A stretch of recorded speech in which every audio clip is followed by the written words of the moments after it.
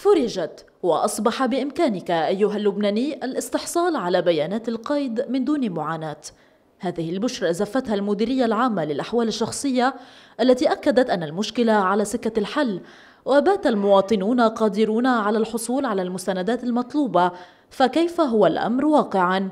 ما كان في وراء بس صار مثلا 2018 2019 2020 2021 صار يقولوا يلي عنده هول بهالسنين هول الأربعة يجيبهم بنجيب له يجيبوا الإخراج الإيد نصدق, نصدق لهم إياه تحت من الدائره بتاريخ جديد تبع اليوم مثلا.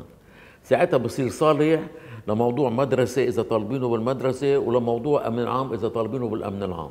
تيسهلوا شوي موضوع المواطنين. هلأ اليوم أنا بعثت البريد مع الموظف يعني على أساس وبعثت معه ناس طالبه إخراجات ايد بقى ما بنعرف إذا مضبوطه قضية الموضوع هالموضوع إنه ببين معي بكرة على بكرة لما يجيب البريد ببين إذا انحلت وعطوه إخراجات ايد طبيعية. إخراجات ايد هلأ مثلا هيدا ها. هلأ مثلا هيدا اليوم اجى واحد اجى واحد هلأ طلب إخراج إيد لبنته وعائله ونسخة ولادة. يعني هلأ سمع الخبر تاني اجى على السريع من الشرقية اجى دغري من الشرقية لحتى يوصل اخراجات لبنته. لما سمع الخبر امبارح قال لي قال لي شو؟ مش الحال؟ قلت له والله هيك مبدئيا مش الحال. قال لي طيب آه يعني اعمل لي هولي لبنتي. قلنا له طيب. فينا نقول تحسنت بدرجة 90% الحمد لله. وأنا شايف انه لا هلا ما بقى نوقع بهيك أزمات لأنه أخذوا تدابير بالداخلية وتداركوا المواضيع كلها. لقينا نشاط كبير الحمد لله. كم مواطن صار جاي لعندك؟ يعني ما بينعدوا لتواخذيني شيء على شيء كان مأخر كان عندي شيء اتصلوا فيك على التليفون قالوا لك انحلت الأزمة صار في وراء.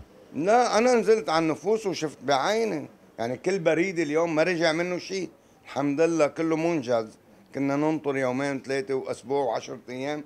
هلأ اختلف الوضع. الاتفاق مع قيادة الجيش مديرية الشؤون الجغرافية نفذ وتم طبع الكميات اللازمة من بيانات القيد التي تسلم تباعا لهذه المديرية وتوضع في مستودعاتها تمهيدا لتوزيعها على أقلام النفوس في مختلف المناطق.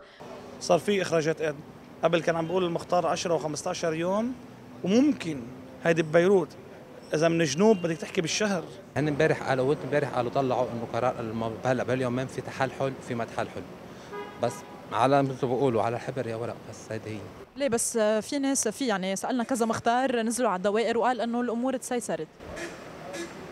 حاولت أنت ترجع تروح عند مختار تسأل؟ هلأ لا والله بعد. إن شاء الله إن شاء الله يكون في حل حل. هذا حق الشعب. لما حق الشعب بده وثيقه ولادة له لأولاده أو فوتوا على المدارس. ومن هنا فالاستفادة مباشرة للمعنيين مباشرة.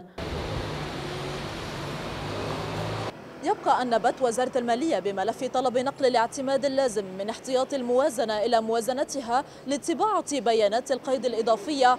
الأمر الأهم تلافيا لتجدد هذه الأزمة. سابين دربيس أن بي أن